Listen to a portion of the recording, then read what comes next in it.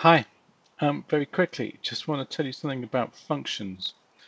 Okay, so if I do something called edit, let's call it f for easiness, okay, and I'm going to create a function called move forward.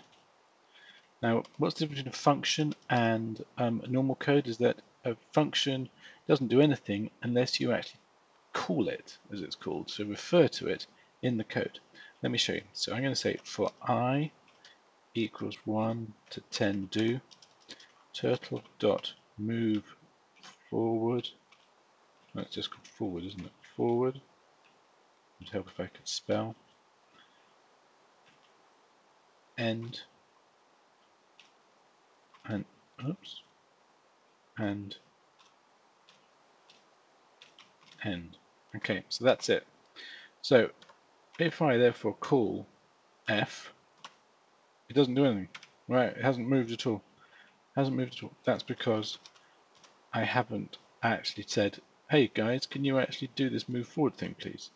So if I do move forward here, open close,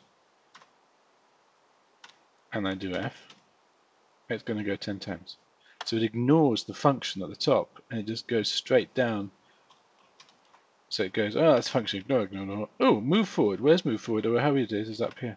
So what I can also do is instead of saying move forward blank, I can put a 10 in there.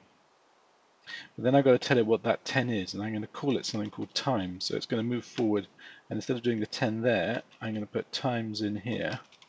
So it's going to do 1 to times, if you like, if that makes sense. And because and times is going to equal 10 in this case, but obviously you can change it. So it does it again.